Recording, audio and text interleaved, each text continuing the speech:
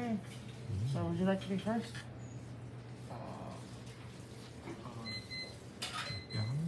Okay. You guys can keep going. Another couple minutes. Oh my god. Wow, I was so lucky. So this is the memory game where you match the mama with the baby.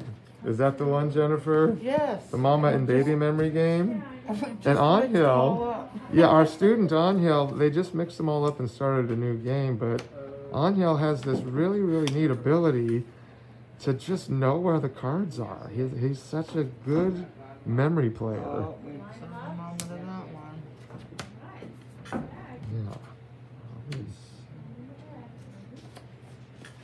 See, look at this. I would challenge anybody seeing this video, showcase your memory game and see if you can do it like Angel.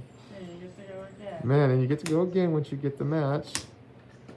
Oh my gosh, Jennifer. Jennifer, are you gonna get a turn? Probably Oh not. man. Oh, finally. Man. Look at that. Oh, I think we did see this. Yeah, and we've all played on Angel at this game, and he's he's, Ah, the, he's a classroom mama champ. Woo! And fuego! Oh my gosh, one, two, three, four. five. So there's only three pairs left. Oh, a hmm You got this, Jennifer. Mm. Yes. See, that's that's how it's done.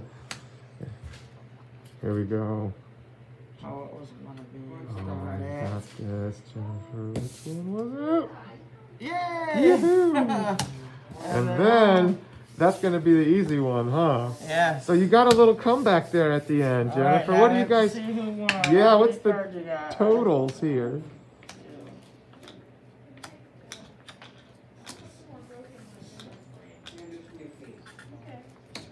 You have ten and I have six. Who's the winner? Yep. the Wow, there he is. Nice. Congratulations on you.